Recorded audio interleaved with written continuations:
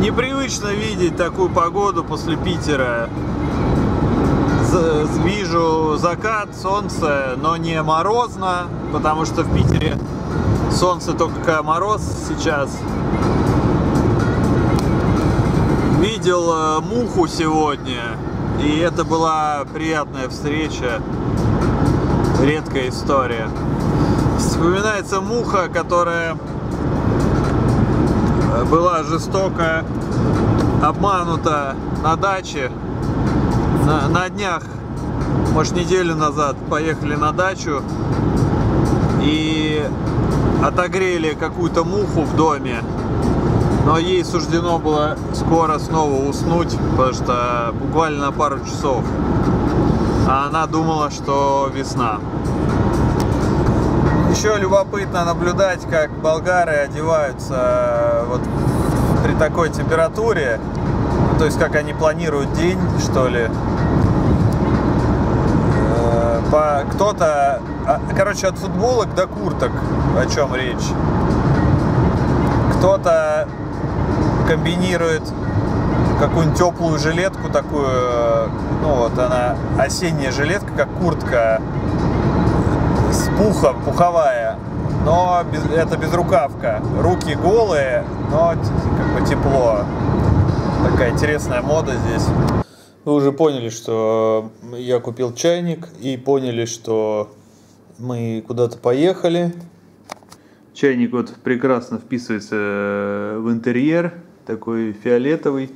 Был белый, но я, конечно, люблю фиолетовый цвет, и белый, просто белый было бы как-то скучно и уныло, и как будто это белый потолок, который тоже скучный и унылый. Я вообще удивляюсь, почему все вот прям все как один при э, текучем вообще отсутствии, скажем так, каких-то ну, сейчас уже все одеваются как хотят там, и вообще правил нет ни в чем, по большому счету, кроме УК. И почему по-прежнему белые потолки у всех? Почему даже самые там ультрамодные, хайповые всякие отвязные там люди, у них по-прежнему белые потолки. Да, красный потолок может еще рано, но э, желтый, кремовый, голубой, там небесный и всякое такое, почему еще никто не хайпует по этой теме, не, ну, это, мне кажется, было бы круто. И пока только всякие делают рельефные потолки, там еще что-то, ну, мне кажется, какое-нибудь вместо белого, какой-нибудь там яичный было бы уже круто. Ну ладно, это э, не по теме, а по теме. Э, как я уже говорил, вроде особых приключений и нету по дороге, но вот так, когда начинаешь рассказывать, вроде и есть что рассказать, потому что немножко удивительные события. Э, в общем, и такие всякие подробности. Подробности пути. Расклад какой был? Я э, из Бургаса не знал, э, как поехать, я уже сказал, то ли дотянуть до Греции, то ли до э, какого-нибудь городка по дороге, и там в гостинице остановиться. В итоге, не доезжая 30 километров до некого Димитровграда, который есть, кстати, и в России, я там не был, и в, о, еще в какой-то стране, типа какой-то, какой-то балканской, что ли, стране, тоже есть Димитровград. Вот, ничего удивительного, потому что Дим, ну, есть имя Димитр и может быть Димитровград. И, в общем, не доезжая этот город, я смотрел на часы, в общем, в 7 вечера надо было принять решение, то ли мы едем на границу, то ли мы где-то останавливаемся в гостинице. И четыре аж причины, почему я хотел задержаться в Димитровграде. Первое, э, да, я скоро подстригу ногти, и даже вот мы перед отъездом, у меня реально не было времени за, заморочиться с ногтями. И у меня специально ножнички для ногтей, у меня, естественно, одни здесь, другие э, типа дома, там, э, где, где я в России живу. Почему? Э, догадайтесь, потому что если я возьму ножнички в багаж, ой, забуду положить в багаж в чемодан, а я редко езжу прям с чемоданом, обычно ручной кладью только, то у меня их отберут, и так уже случилось. И я ножнички, когда вез, свои любимые, прям крутые, там, и типа дорогие, на самом деле, реплика какая-то Кайзер, но они прикольные были, они мне нравились.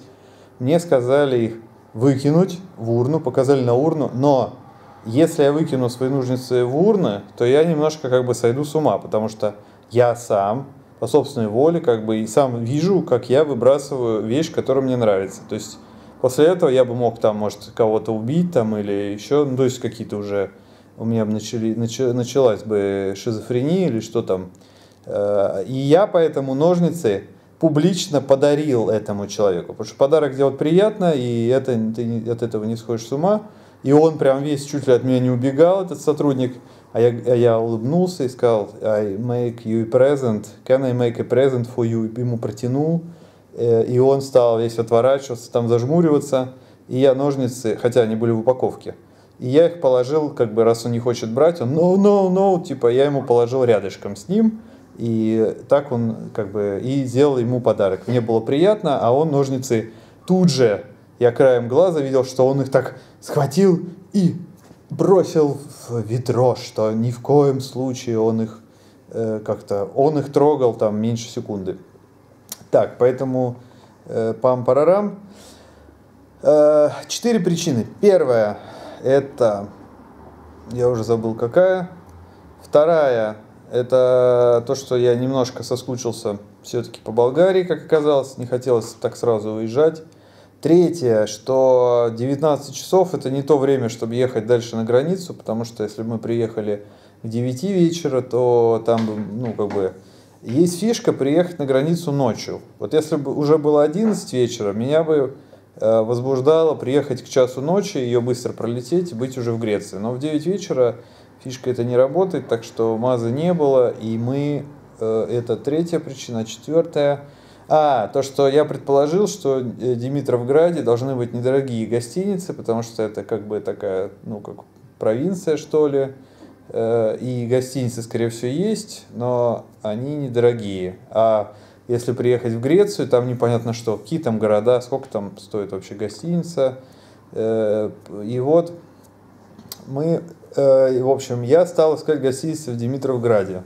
Ну и не доезжая Димитровград, мы заехали в один любопытный мотель, и я там стал снимать видео, сейчас его увидите. Так, на тему русофобии в Болгарии. Человек мне сейчас сказал Россия, Украина и показал на дверь. Давайте посмотрим, что он на камеру скажет. А, он дверь закрыл.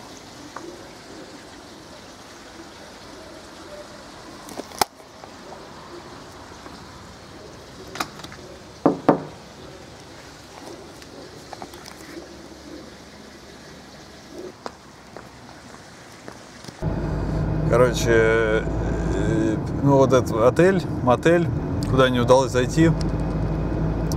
Чувак на рецепе, но он уже по-русски я начал говорить, он так в лице поменялся, потом я попросил комнату показать. Он такой, как на взводе немного был. Вот. Потом я э, хотел воду проверить, горячая есть или нет. И вот когда я открыл воду, он что-то его прорвало. Он сказал, что хер ли я, мол, лезу. И сказал почему-то в конце вдруг, сказал Россия, Украина и показал на, на, на дверь. А, ну вот, на, на тему русофобии в Болгарии. Короче, меня больше всего позабавило, что почему-то, что почему про Украину сказал. А, видимо, потому что неизвестно откуда я, но хоть с России, хоть с Украины не подходим. Ну ладно, все, пока. Э, Что-то я сейчас э, угорнул еще. Вы заметили, что там в отеле, в так называемом, ни одно окно не горело. Короче, он один там сидит и ненавидит братьев славян.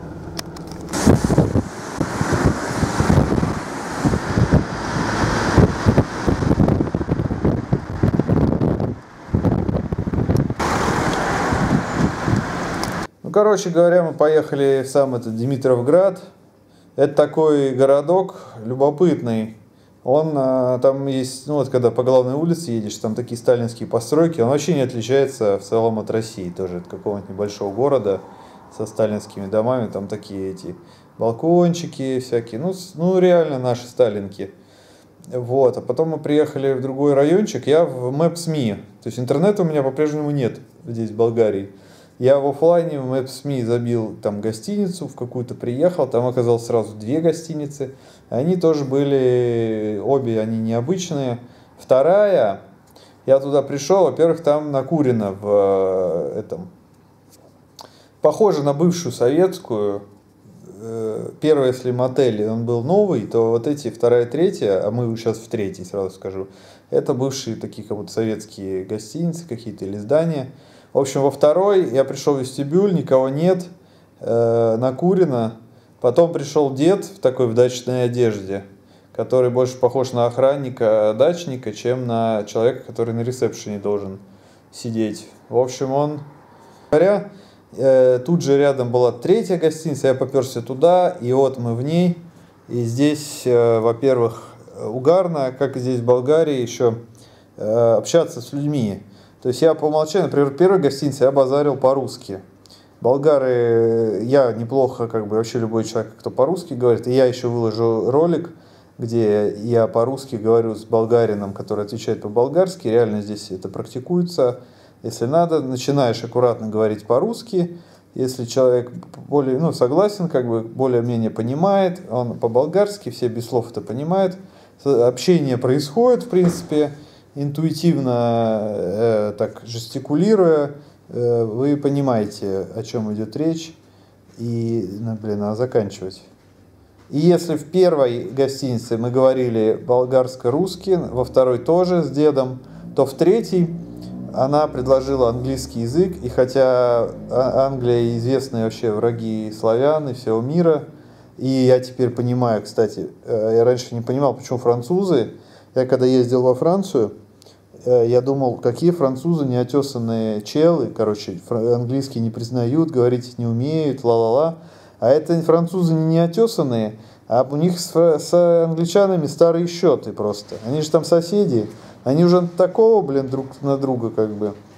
То есть у французов просто для них английский язык не международный, а язык врагов, блин, и вредителей рядом. Я бы сам, наверное, не хотел Британию под боком, потому что они же такие амбициозные, там и ла-ла-ла, и, так сказать, от них хорошего не жди, и продуманы, и всякое такое. Поэтому французы по-английски не говорят.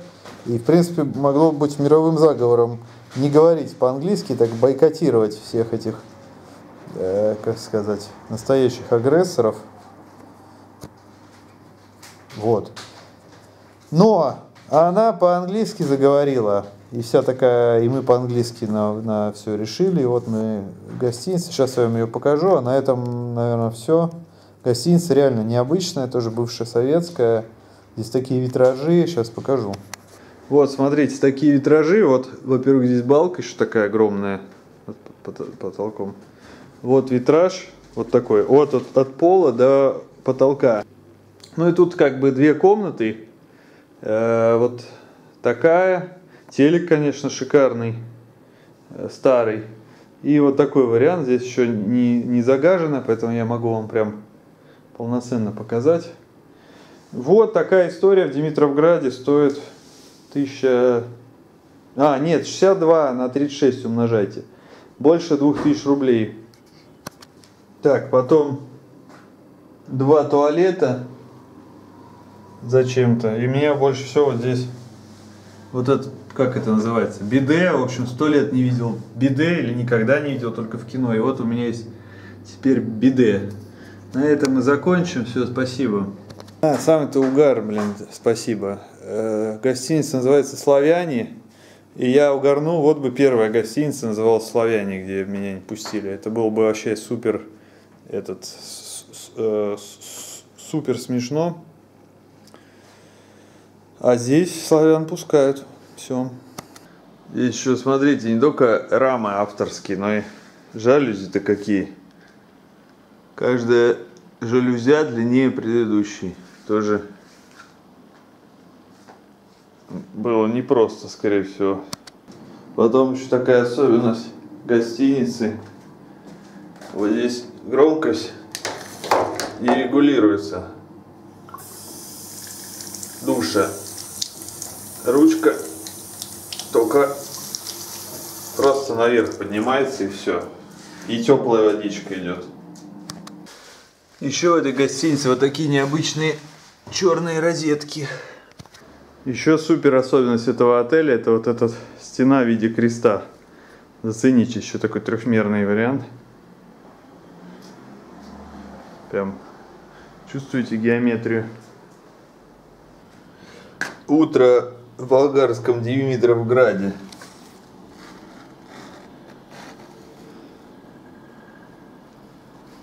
Как-то так.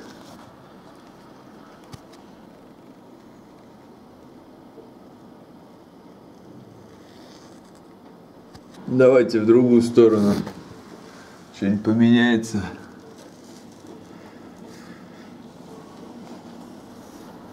Тоже дождь. Если честно, после истории с гостиницей стал заглядываться уже на болгар. Вдруг, типа, многие здесь россиян недолюбливают, просто не говорят. Тот откровенный оказался такой смелый, а остальные так. Вот. Ну что, похоже, распогодилось, как синоптики обещали. Прошло пару часов, голубое небо, ну и сегодня плюс 16 опять обещают. Забыл сказать, вчера э, встретились с такой во-первых, вчера проехали порядка 200 километров от Бургаса до вот этого Димитровграда. И второе, столкнулись, ну, вспомнили такую европейскую фишку, что все рано закрывается. Здесь в Димитровграде то что-то в 7, что-то в 8, а мы в 9 пошли в магазин и едва нашли, где купить шоколадку, например. Шу шумный шумный автомобиль. Едва нашли, где купить шоколадку, и едва нашли магазин, где еще по карте можно заплатить, потому что, на удивление, наличка. Ну и зацените холл гостиницы еще напоследок. В гостинице проверяли номер после нас. Вдруг мы телевизор украли. Ну и вот гостиница снаружи тачка,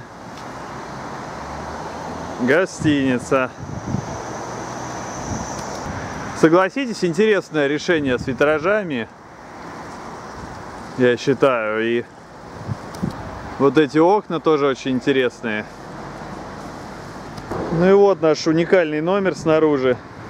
Он оказался особенным с таким витражом. Он стоил 62 лева на 36 умножайте. Или лей, что там вот у них? Возможно, их тоже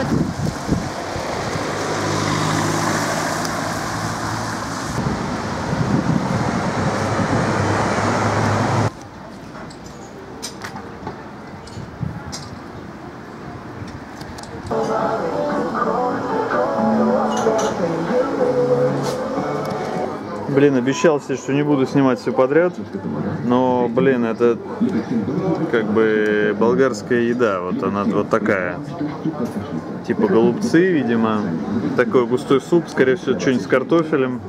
Они картофель любят, и такой хлебушек свежий, вкусный.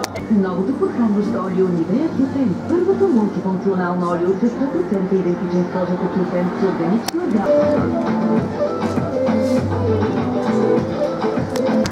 вы, кстати, еще заметили, что я побрился, наконец-то появилась возможность. Но сейчас была забавная история и мини-приключение от другой страны. Сейчас, конечно, глобализация, все кругом путешествуют, интернет.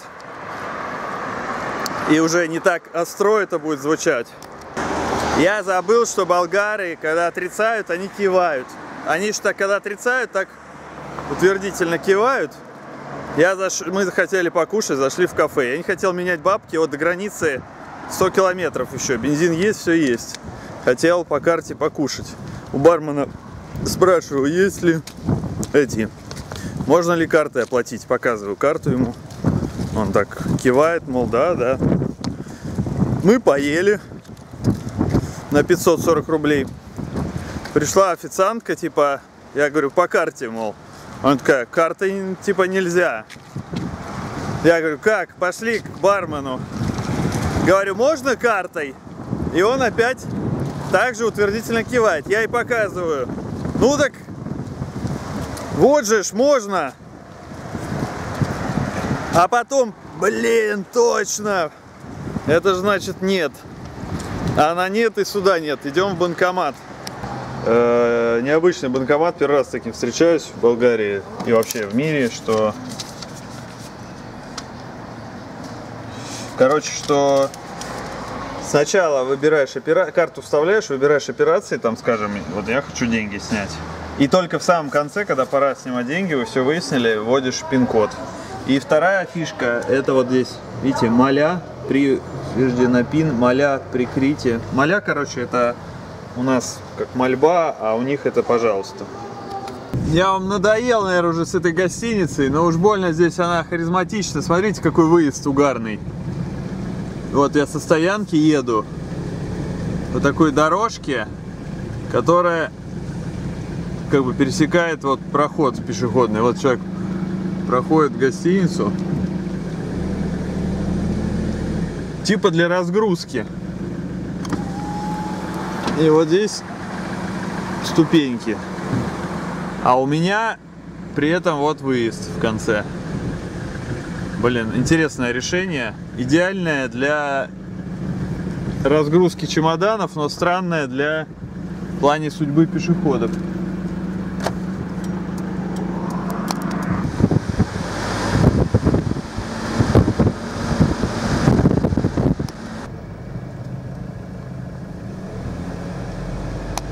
Еще одна комедия, мини-комедия. Это по-болгарски нет, это няма, ну если чего-то нет. Короче говоря, и сразу два, момента. Пришли на заправку, хотели мороженое купить. У них, в общем, такая особенность, что в Турции, что в Болгарии, типа, что зимой холодно и мороженое никому не нужно, поэтому оно не продается. Это первая фишка. Ну и вторая э, из этого вытекла. Пришли на заправку, эти две продавщицы, типа, хотим мороженого. Они такие, няма. Сначала одна сказала, потом э, мляка с шоколадом, молоко с шоколадом. Решали, решали. Хотим два мляка с шоколадом, говорю. Они уже вдвоем, вторая вышла такие, няма, няма, мляка. Ну, так смешно почему-то. Вам смешно?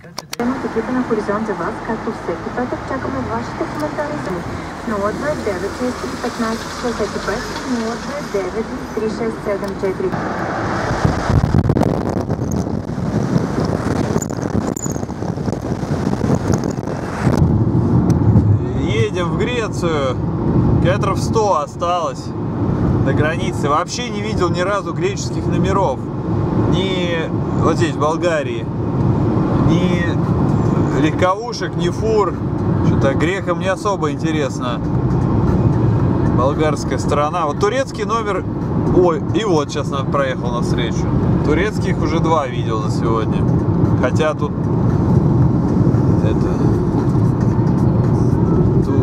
Ту Турция дальше даже.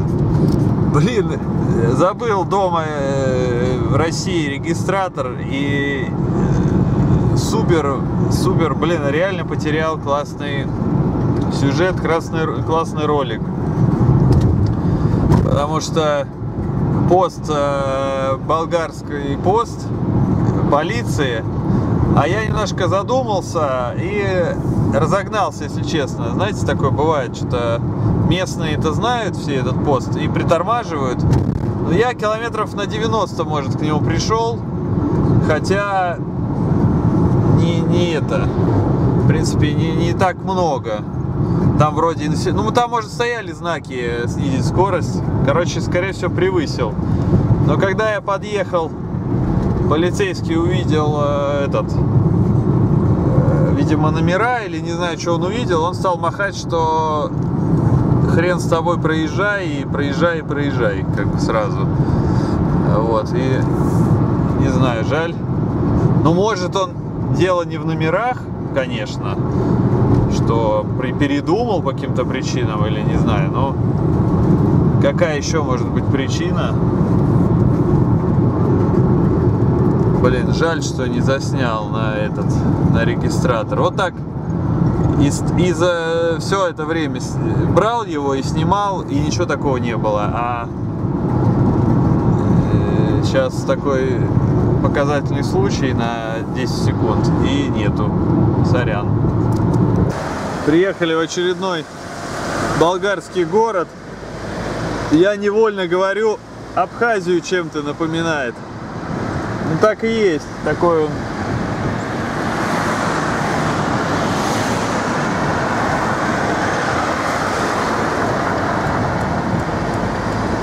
эти домики, заборчики, как Гаг, Гагра. Разруха тоже такая. Вот купите этот дом в Болгарии.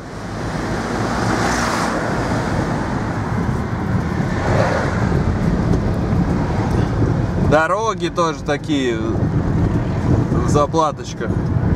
Между тем мы уже совсем под носом у Греции. Поэтому здесь такая проходимость.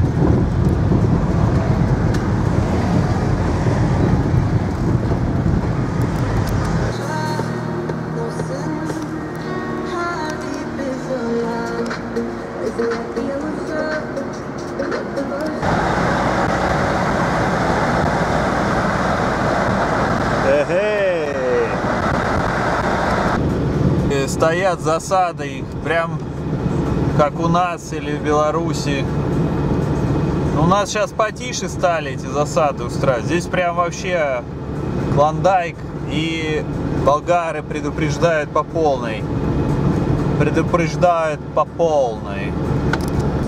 Вот, въехали в Грецию, и как это было после Грузии и Армения, неописуемые виды, так и здесь. Казалось бы, ну что такое формальная граница, но реально как-то стало сразу э, более удивительные пейзажи. Ну, через полугрязное окно, конечно, тяжело узреть, но тут просто шикарный пейзаж, шикарный закат.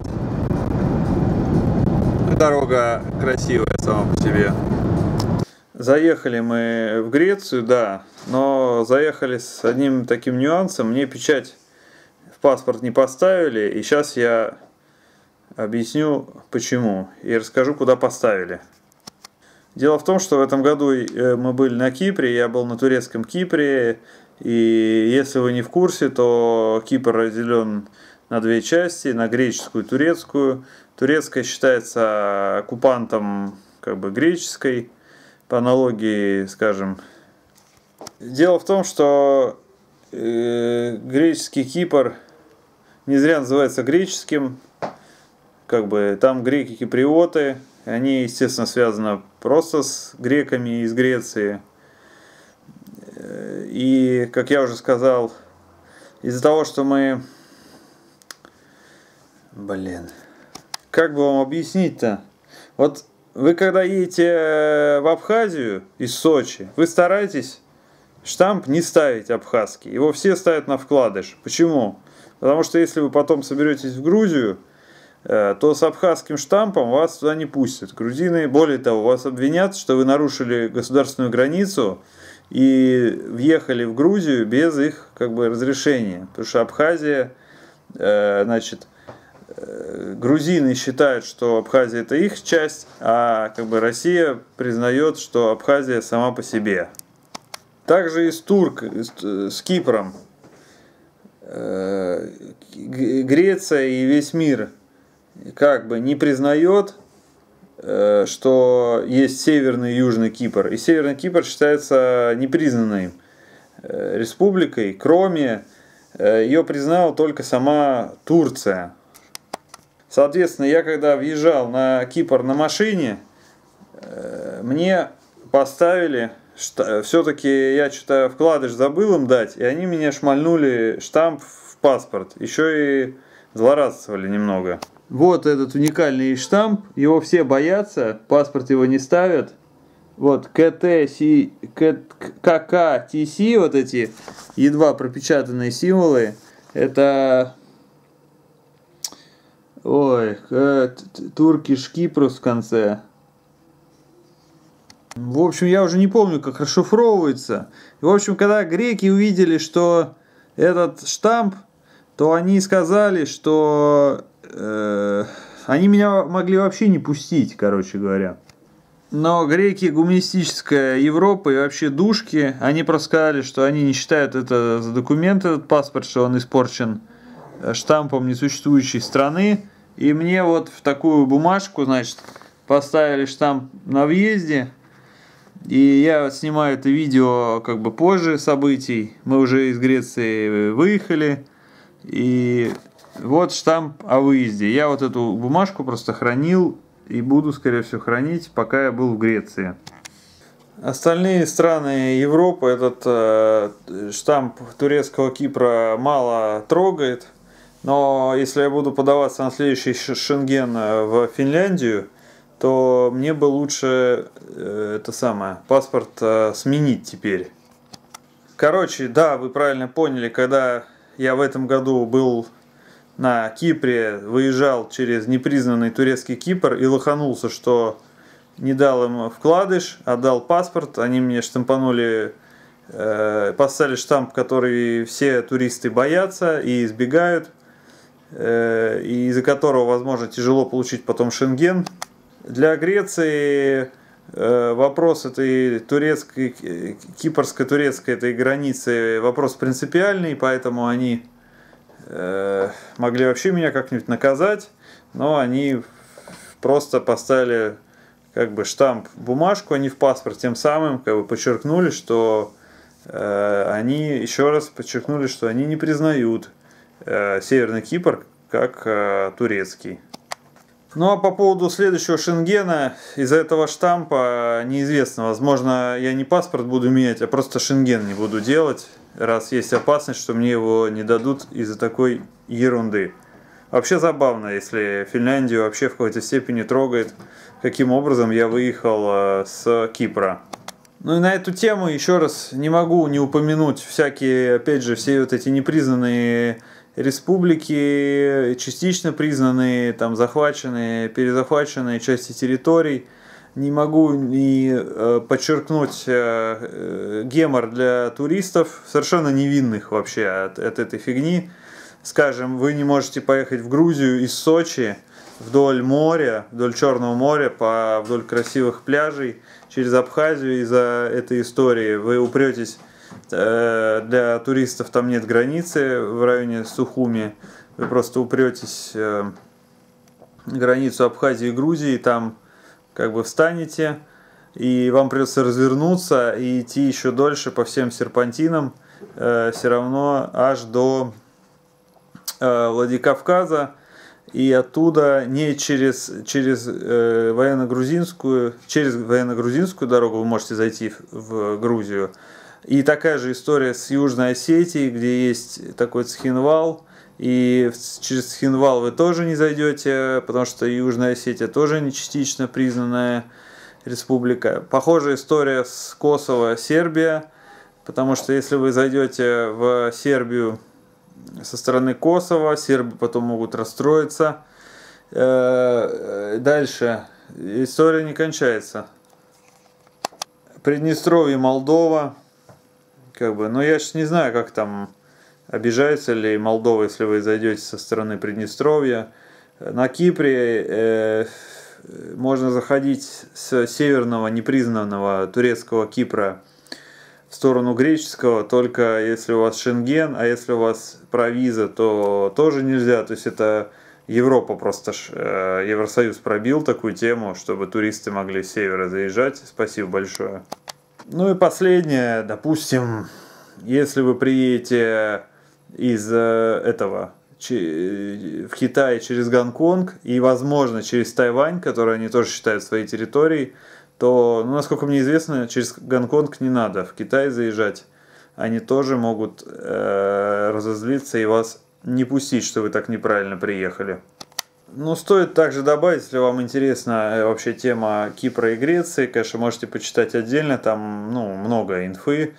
Э, но Кипр настолько близок к Греции, если вы не в курсе, что когда Кипр стал независим от Британии, как бы Кипр собирался стать частью Греции. Просто, то есть остров собирался стать частью страны Греции. Но вот э, как раз таки э, события и вмешательство турков как раз таки этому и помешало, поэтому сейчас э, Кипр по-прежнему административно отдельная страна. Что-то мне стало любопытно, есть ли возможность сейчас въезжать на Украину со стороны Крыма, тоже типа непризнанного, обижаются ли... А, конечно, обижаются. Они же постоянно спрашивают, были ли вы на Кипре. А если вы приехали с Кипра, значит, точно были. Но тоже, получается, еще, еще одна, как бы... Ну, это не непризнанная республика. Или что, как?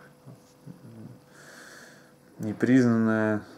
В общем, что-то там непризнанное тоже.